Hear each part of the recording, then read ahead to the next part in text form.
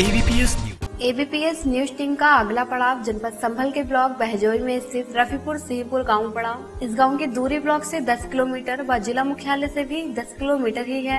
वर्तमान समय में ग्राम वासियों ने सर्वेश कुमार को अपना ग्राम प्रधान चुनकर गाँव के विकास की ज़िम्मेदारी उन्हें सौंपी है।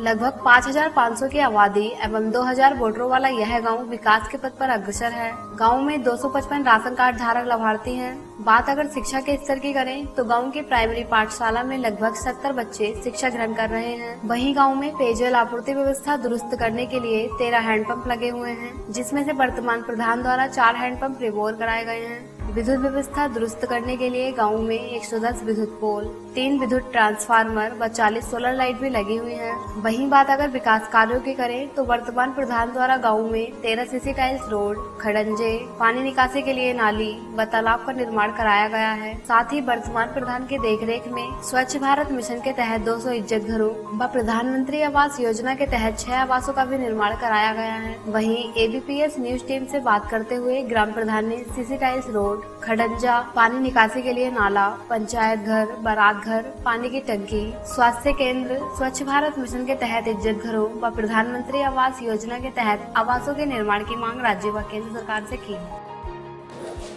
मैं ग्राम प्रधान सिंहपुर मेरा नाम सर्वेश कुमार ब्लाक बैजोई, तहसील चलोती जिला संभल।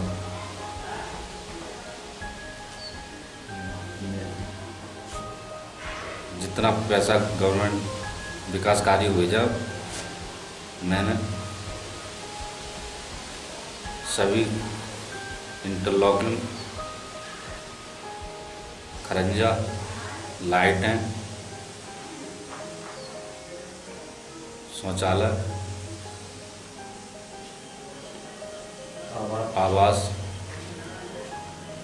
बनवा दी अब भी मेरे गाँव काफ़ी जो समस्या हैं, जो क्या कहते हैं।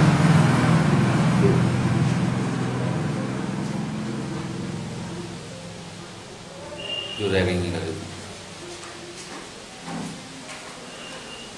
मैं सर सरकार से गुजारिश करूँगा जिस काम रह गए वो पूरा पैसा भेज के पूरा कर, में कराने की।